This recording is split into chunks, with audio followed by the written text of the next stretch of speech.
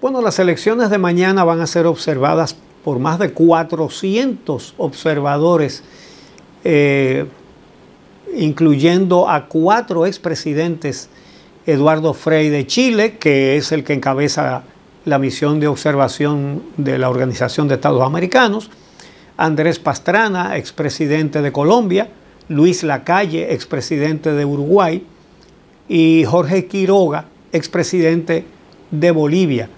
También Luis Fortuño, ex gobernador de Puerto Rico, Asdrúbal Aguiar, director de la Iniciativa Democrática de España y de las Américas, y en fin, una cantidad de, de personalidades internacionales que estarán aquí para ser testigos del desenvolvimiento de este proceso electoral. Bueno, en ese sentido, Andrés Pastrana, el expresidente de Colombia, consideró que el montaje va muy bien. Eh, él también estuvo aquí en las elecciones municipales de febrero y dijo que constituyeron una fiesta democrática con absoluta tranquilidad. ustedes van a oír esa frase mucho eh, mañana, la fiesta de la democracia. Sí, sí, sí. Óyeme, ¿qué? qué? Óyeme. Esa, esa frasecita hecha siempre. Hay que buscar otra, hay que buscar otra. Sí, sí, qué cliché. Eso es lo que se llama un cliché. un cliché. Eh, es cierto, pero es un cliché. Bueno, pues eh, esa misión se reunió el pasado miércoles con el Pleno de la Junta Central Electoral, esa misión internacional, y desde el jueves también se reunieron con los candidatos presidenciales, comenzando por el presidente Luis Abinader, también con Leonel Fernández, bueno, con todos, se reunieron con todos. Y la OEA va a tener 84 observadores repartidos en diferentes zonas del país.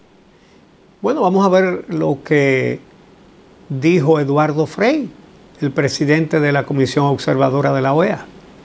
Nosotros venimos a colaborar, no venimos a cambiar las leyes ni a cambiar las autoridades, venimos a colaborar para que la gente tenga un día tranquilo, la gente pueda votar bien, que no haya ningún incidente y que la democracia gane por ese día electoral como creemos que es bueno en toda nuestra América Latina. Bueno, Frey reconoció que la Comisión de Observadores de la OEA ya ha constatado evidentes avances, dice él, en el sistema electoral dominicano, comparándolo con el del 2020. Eh, y ciertamente, los dominicanos lo sabemos que sí. Esos 400 y pico de observadores de la OEA están repartidos en todo el territorio nacional. Y también tendremos la observación, como cada cuatro años, de participación ciudadana, de los observadores de participación ciudadana, así que por observadores no nos quedamos. Vamos a hacer una pausa y cuando regresemos, a propósito de participación ciudadana, vamos a comentar las denuncias que ha hecho al PRM y también los avances que están destacando en este proceso. Ya regresamos.